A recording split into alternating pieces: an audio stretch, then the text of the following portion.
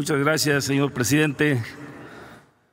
Gracias, compañeras y compañeros coordinadores de los diferentes grupos parlamentarios. Se ha aprobado la disolución del Estado Mayor Presidencial, que como aquí ya puntualmente el compañero Dante Delgado ha dado cuenta de lo que en realidad constituía ese cuerpo de seguridad del presidente, que eran aproximadamente 20 mil elementos muchos de ellos provenientes de la Marina, del Ejército, de la Policía Federal o policías estatales.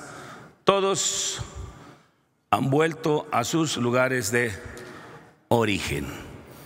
Y bueno, plantea, eh, hace una propuesta muy clara de que el señor presidente de la República debe tener un cuerpo de seguridad ante los acontecimientos que se están viviendo en el país esto ya es otro, esta ya es otra cosa.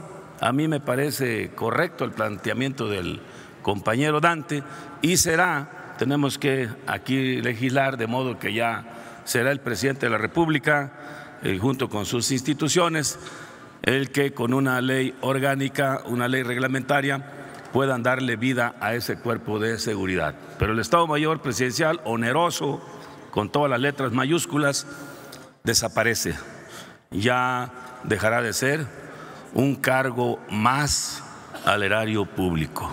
Estamos de acuerdo en la propuesta, compañero Dante. Muchas gracias a todas y a todos. Senador Cabeza de Vaca.